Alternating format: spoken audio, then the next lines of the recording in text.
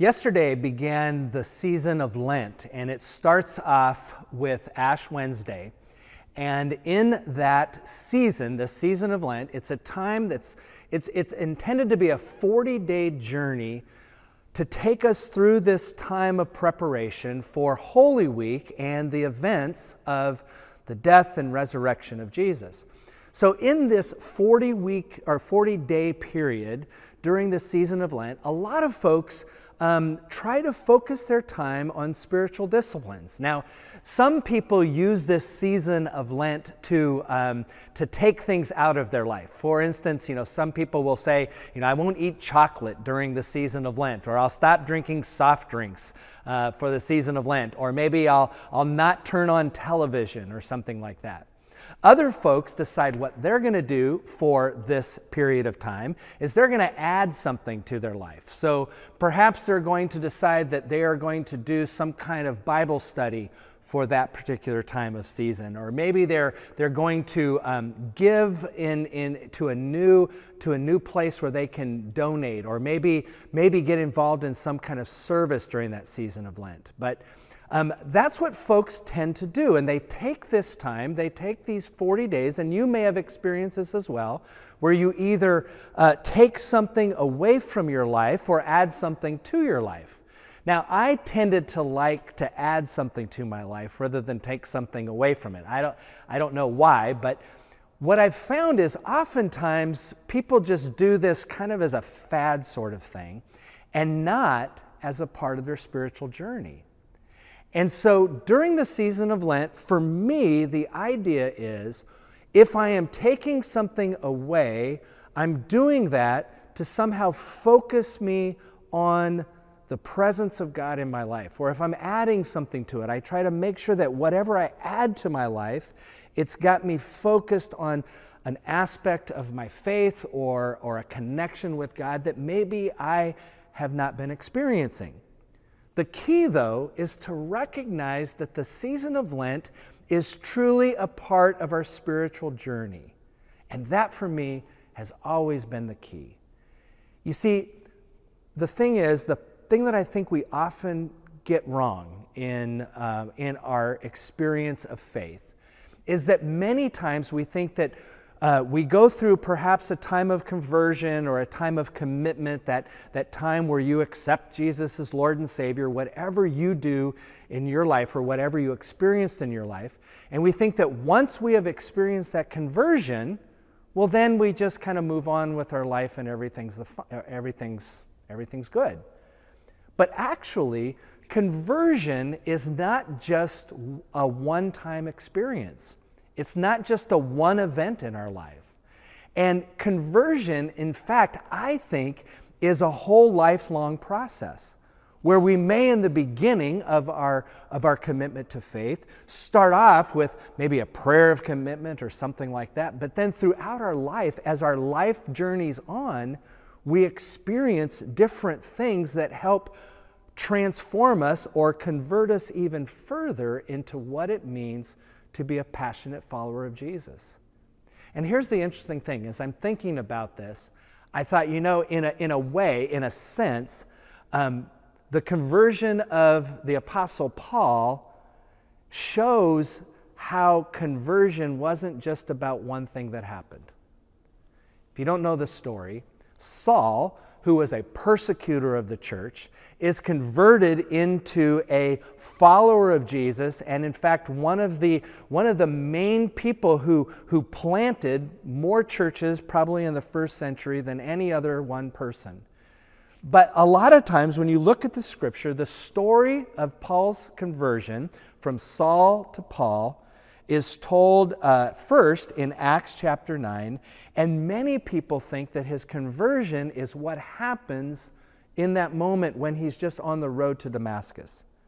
The way it happens is this Jesus, uh, uh, Saul is, is on the road to Damascus where he's going to go, and his plan is to go arrest and persecute Christians because he believes, as a, uh, as a strong believer, as a Jewish strong believer, that those who are following Jesus are going the wrong way. And so he's on his way to, to try to end this follower of Jesus fad that he sees going on. And along the way, he has this bright light come to him and he sees, he experiences a voice from heaven and he experiences the presence of Jesus. And that voice says, Saul, Saul, why are you persecuting me? Now, for some folks, they see that time, this encounter with Jesus, as the conversion of, of Paul, from Saul to Paul. But if you look next, what happens in this, in this experience is that experience with Jesus has blinded uh, Saul. Uh, he hasn't been changed yet to Paul, but it has blinded him, and he's left confused. He left, he's left with those who are walking with him having to lead uh, him to where he's going next. But then he has another encounter, encounter. And this encounter is with those believers who he was going to go and persecute. So he has an encounter with the community of faith. First step in his conversion is an experience or an encounter with Jesus, but the second step is an experience or an encounter with the community of faith. And this one believer named Ananias comes to Saul and he puts his hands on Saul's eyes, and scales come away from his eyes, and he begins to see again. Paul's conversion then is two steps it's an encounter with Jesus, but it's also an encounter with the community of faith, with others who believe. But there's another step along the way, too. And in all honesty, Acts doesn't really do it justice because after this experience with Ananias and the community of faith, it says that Paul immediately began to preach the gospel. But if you look at Paul's telling of the story in the letter that he wrote to the church in Galatia, it seems as if there was at least a one to two, maybe three year experience of Paul being taught more about the faith before he's ready and prepared to go off and to preach. You see, his conversion, his experience of conversion was at least three steps that encounter with Jesus, that encounter with the community, and that time of study and contemplation to allow those two experiences to begin to change his life. Now, I don't know what your conversion experience was.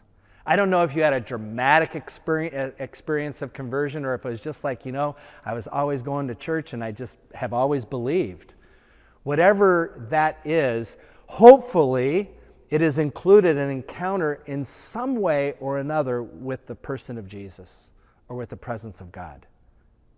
But then I also think it needs to have that experience with the community of faith because we do not live our faith out alone, but we live it with the whole community of the people gathered.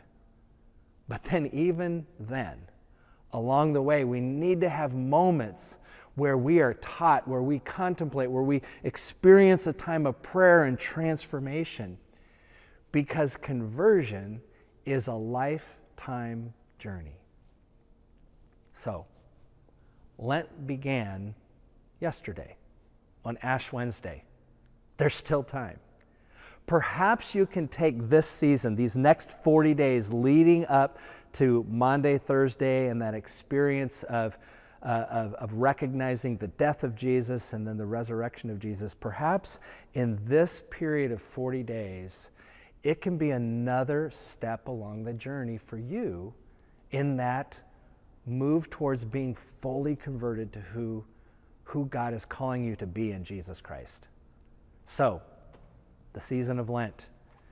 Enjoy the journey. Find a way to make this period of time meaningful, both to you personally, but also to you spiritually. And we'll walk together along this journey of faith.